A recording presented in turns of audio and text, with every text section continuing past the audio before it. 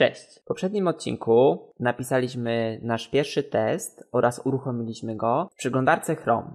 No właśnie, a co z innymi przeglądarkami? Co, jeśli chcielibyśmy wykonać test na przykład na Mozilla Firefox czy na Microsoft Edge? Dzisiejszy odcinek odpowie na te wszystkie pytania. Zatem na końcu tego odcinka będziemy potrafili wykonywać testy na różnych przeglądarkach. Dla przykładu w tym odcinku będzie to Mozilla Firefox i Microsoft Edge. Zatem przechodzimy do pracy. Na samym początku chciałem jeszcze raz przypomnieć, że aby wykonywać testy na danej przeglądarce, potrzebujemy do niej niejako sterownika, a więc drivera przeglądarki. W przypadku Chroma jest to Chrome Driver Exe. W poprzednich odcinkach dokładnie omawialiśmy to oraz ściągaliśmy ten plik. Zatem najpierw spróbujmy odpalić testy na przeglądarce Mozilla Firefox. W tym celu na samym początku oczywiście pobieramy drivera. Zatem uruchamiamy przeglądarkę Google, wpisujemy driver Mozilla Firefox i z listy wyszukiwania wybieramy pierwszy link, a więc adres github.com slash mozilla slash geccodriver slash releases. To tutaj znajduje się lista z wersjami drivera Mozilla Firefox, które możemy pobrać. Jak widzimy, najświeższą wersją jest wersja 0.27.0. Jak już wiecie, wersja drivera przeglądarki oraz samej przeglądarki musi ze sobą współdziałać, czyli być kompatybilna. Zatem zobaczmy, jaką wersję przeglądarki Firefox posiadamy. Otwieramy przeglądarkę, ustawienia, pomoc oraz o programie Firefox. Jak widzimy, przeglądarka ma wersję 82.0.2, jest oczywiście 64-bitowa u mnie.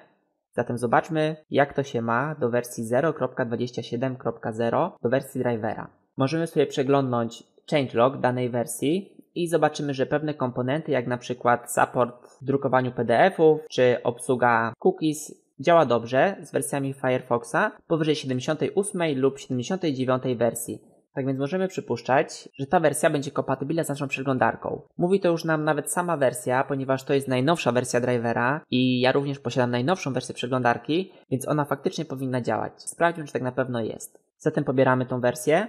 Tutaj mamy różne wersje w kontekście naszej platformy. Ja oczywiście wybieram Windows 64-bitowy. A więc Gecko Driver, wersja 0.27, Windows 64 bit. Gecko Driver to właśnie nazwa tego drivera. Zatem teraz, po pobraniu, pozostaje nam wypakować ten plik do katalogu Resource. Czyli możemy sobie skopiować ścieżkę i ją tutaj otworzyć. Jak widzicie, ja już mam pobrany zarówno Chrome Driver, Gecko Driver, czyli właśnie driver do Firefoxa oraz od razu mam tutaj driver do Microsoft Edge, które będziemy omawiać nieco później. Zatem kiedy plik binarny drivera mamy już w katalogu Resource, pozostaje nam wskazać do niego ścieżkę. Ja oczywiście przekopiowałem tę instrukcję, którą używaliśmy do Chrome Drivera i podmienię tylko tutaj nazwę tego pliku, a więc będzie to Gecko Driver. Przejdźmy teraz nieco niżej. Pamiętamy, że w tej linii uruchamialiśmy drivera do Chrome Drivera, co zresztą sugeruje nam tutaj ta nazwa. Teraz musimy stworzyć drivera, który będzie odnosił się do przeglądarki Firefox. A więc zrobimy to następująco. Firefox Driver i gotowe. Zakomentujmy zatem linię Chrome Drivera i spróbujmy odpalić test. W tej chwili test powinien już wykonać się na przeglądarce Firefox. Pamiętajmy jeszcze o jednej ważnej rzeczy. Tutaj zamiast Chrome powinno być słówko gecko, które będzie sugerowało, że właśnie będzie to gecko driver i będzie odnosiło się do Mozilla Firefox. Zatem teraz śmiało możemy wcisnąć przycisk Run.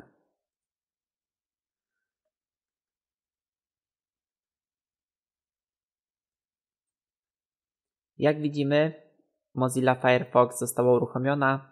Uruchomiony został również test. Wszystko zostało wykonane poprawnie. Mamy tutaj logi oraz status testów run 1, past 1. Wszystko przebiegło zgodnie z planem. Zatem teraz szybciutko i analogicznie postaramy się uruchomić testy na przeglądarce Microsoft Edge. Oczywiście zaczynamy od pobrania WebDrivera. Zatem uruchamiamy wyszukiwarkę wpisujemy Microsoft Edge WebDriver Download i klikamy w pierwszy link, oficjalny link Microsoftu. Przechodzimy nieco niżej. Jak widzimy mamy sekcję Download oraz różne wersje driverów.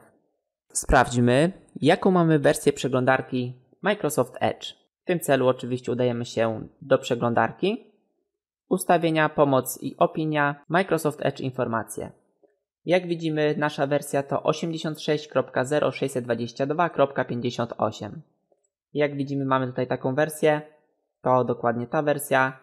I możemy ją ściągnąć. Oczywiście ja ściągnę ją na system operacyjny Windows w wersji 64-bitowej.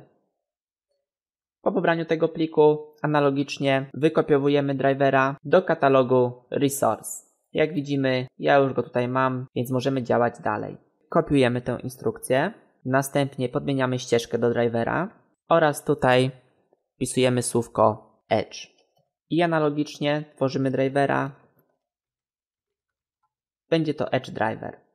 Komentujemy sobie linię Firefoxa, ponieważ teraz chcemy to uruchomić na Edge'u i możemy uruchomić przyciskiem Run.